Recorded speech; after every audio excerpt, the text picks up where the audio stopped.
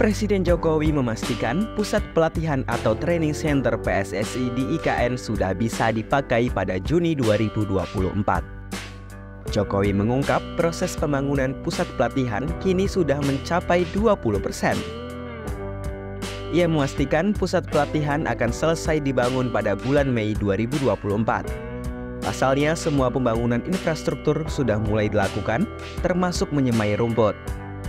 Dari video tampak ada rumput yang sedang dikerjakan pekerja.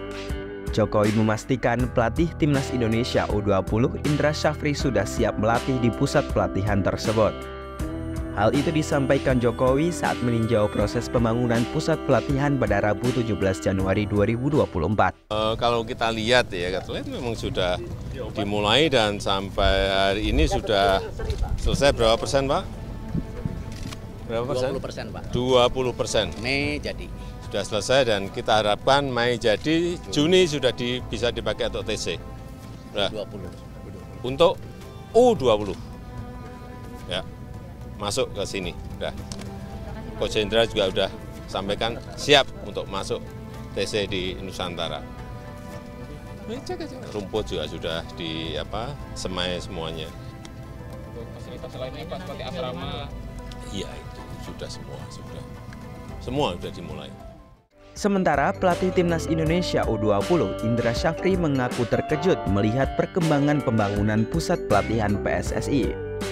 Menurutnya pusat pelatihan ini akan mendukung persiapan timnas Indonesia, mulai dari timnas senior sampai sepak bola wanita.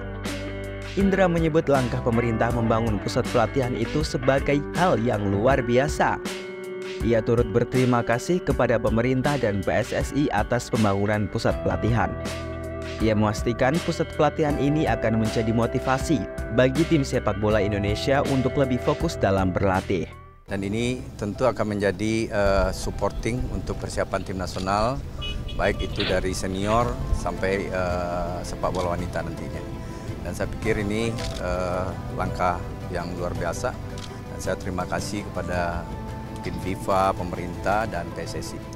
Ini akan menjadi motivasi untuk kita uh, melakukan persiapan lebih fokus lagi.